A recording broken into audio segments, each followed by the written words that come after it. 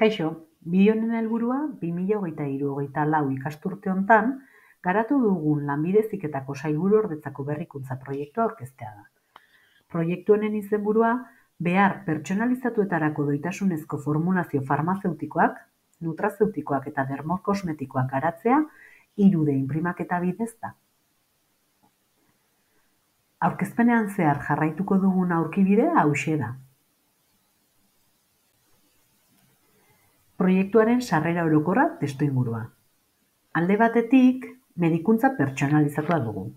Medikuntza honek paziente bakoitzaren ezaugarri espezifikoak eta behar individuala kontuan hartu eta estrategia terapeutiko pertsonalizatua garatzea du helburu. Bestetik, gehikuntzazko fabrikazioa 3D inprimaketa, diseinu digital batetik abiatuta, materiala geruzaz geruza jalki eta objektu solido bat eraikitzean datza. 3D inprimaketak farmaziako produktuen ekoizpenean eta banaketan etorkizuneko ikuspegia eskaintzen du. Eskari eta beharren araberako fabrikazioa bultzatzen duelako eta fabrikazioa gune txikiago batzuetara eramaten duelako. Adibidez, 3D inprimagailuak ospitaleetan eta auzobotiketan koka litezke. Gainera, potentzial handiko teknika da. Geruzaz geruza, forma farmazeutiko berriak sor daitezke, forma eta diseinu askatasunarekin, eta paziente bakoitzari egokitutako dosiak inprimitzea albidetzen du. Hortaz, zer egin nahi genuen gure proiektuan? Ba, alde batetik, aktibo farmazeutikoak, nutrazeutikoak eta dermokosmetikoak administratzeko bioinpremaketarako aproposak diren izaera desberdineko formulazio berritzaileen ikerketa. Bestetik, 3D inprimaketaren bidez lortutako formulazioak erabiliz ase daitezken beharren azterketa. Eta azkenik, Euskadiko lanbide heziketako ikastetxeen, unibertsitatearen eta enpresen arteko ikaskuntza eta transferentzia sustatuko zuten formulazioen garapena. Zeintzuk garatu dugu proiektu hau? Ba, errenteriako Don Boskon, Lorena Arrastu eta Anelazkano egon gara lanean – eta Gasteizko Frantzisko Ebitorian Sofia de la Torre eta Larraitz Ezeizabarrena. Hauek dira proiektuan bete nahi genituen helburu orokorrak. Bat, formulazio farmazeutikoak, nutrazeutikoak eta dermokosmetikoak bioinprimatzeko eskakizunak ikertzea. Bi, printzipio aktiboak administratzeko formulazioak identifikatzea eta definitzea. Eta hiru, formulazio desberdina garatzea. Forma solido bat eta forma topiko bat. Proiektuaren garapena hainbat fasetan egin da eta lehenengo fase hontan bilaketa eta azterketa lanetan zentratu gara. Alde batetik, 3D inprimaketaren bidez lortutako formulazioak erabiliz, hase daitezken beharrak identifikatu ditugu. Hauek, medikuntza personalizatuan zentratu dira batez ere, konkretuki dosien personalizazioan, printzipio aktiboen liberazio perfilen aldatzean eta polipilulen sorkuntzan. Eta bestetik, xede populazioaren definizioa eta karakterizazioan, pediatrian, geriatrian, ikusmen gutxitasuna eta zalesioak dituzten pertsonentzat interesgarri izan daitekela ondo eleztatu dugu. Bigarren fasean, irude inprimaketarako formulazioak eta osagaiak aztertu ditugu, eta interesatzen zaizkigun aktibo eta astipienteak txertatzea albidetzen duten formulazioak garatu ditu. Horrela, Don Boskoko taldea formulazio dermokosmetikoetan zentratu da. Partxe transdermiko bat garatu nahian. Eta Francisco de Vitoriako taldea formulazio farmazeutikoetan. Gominola analgesikoak eta nutrazeutikoak sortu nahian. Bigarren fase honetan egindako proba eta saiakuntza guztiei esker, garatutako formulen karakterizazioa eta balezkotzea egin dugu.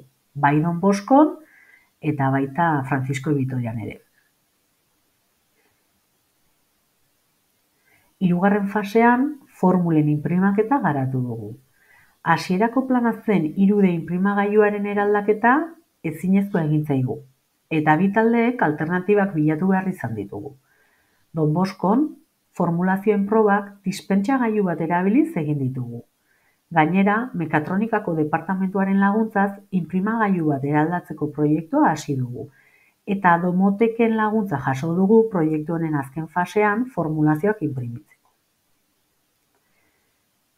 Eta Francisco de Vitorian, xiringa erregulatuak erabili dira, erabili ditugu probak egiteko, eta gainera, gamarra kostalaritza eskolaren eta hibridalafen laguntza izan dugu azken formulazioak inprimitzeko. Proiektu honen sorkuntzan eta garapenean, enpresa kolaboratzaile batzuen laguntza jaso dugu. Hala nola, Natividad Suarez farmaziak eta imasmezek formulazioen garapenean lagundu digute. Ekolberrek kolagenoaren erabileran. Polimate korreologia taldea formulazioaren karakterizazioan. Eta domotekek bioinpremagailuetan. Emaitzak eta ondorioak. Don Boskoko taldeko emaitzei dagokionez, garatutako partxe transdermikoetan ezaugarri organoleptikoak, pH-a, biskositatea, edagarritasuna eta inprimagarritasuna aztertu dira, eta ezaugarri egokienak bildu dituzten formulazioak izan dira aukeratuak. Horrela, formulazio egokia egokiena aukeratuta, printzipio aktiboak gehitu eta begizuloen kontrako partxeak garatu ditugu hauek izanik ondorioak. Bat, zelilosa deribatu biobateragarrietan oinarritutako biotintak formulatu eta karakterizatu dira. Bi, emaitzek erakutsi dute lortutako hidrogelak inprimagarriak direla. Hiru, hautatutako biotintak bere propietateak mantendu ditu printzipio aktiboak gehitu ondoren. Beraz, formulazio pertsonalizatuak fabrikatzeko erabil daiteke.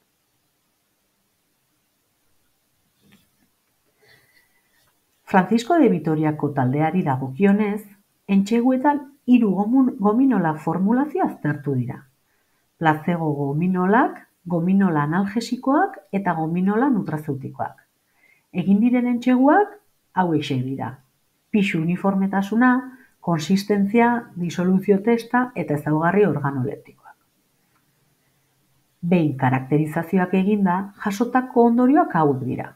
Placebo Placebo gominoletan bat gelatinaren deribatuetan oinarritutako biotinta formulatu eta karakterizatu dira. Bi, gelatinatan oinarritutako biotinta bioinpremagarriak direla frogatu da. Gominola analgesikoen kasuan, hauesek ondorioak. Bat, parazetamolarekin bateragarriak diren gelatinazko deribatu biobateragarrietan oinarritutako biotinta formulatu eta zaugarritu da. Bi, lortutako gominolak parazetamol printzipio aktiboarekin inprima daitezke. Hiru, gehitutako parazetamol kantitatea konpentsatzeko, glizerina eta xilitol kantitatea txikitu beharra dago proportzionalki. Lau, individualizatutako gominola inprimatu daitezke beharrezko parazetamol analgesikoaren arabera glinzerina eta xilitol kontzentrazioak proportzionalki aldatu. Gominola nutrazeutikoei dagokionez, hauesek ondorioak. Magnesioarekin bateragarriak diren gelatinazko deribatu biobateragarrietan oinarritutako biotinta formulatu eta zaugarritu da.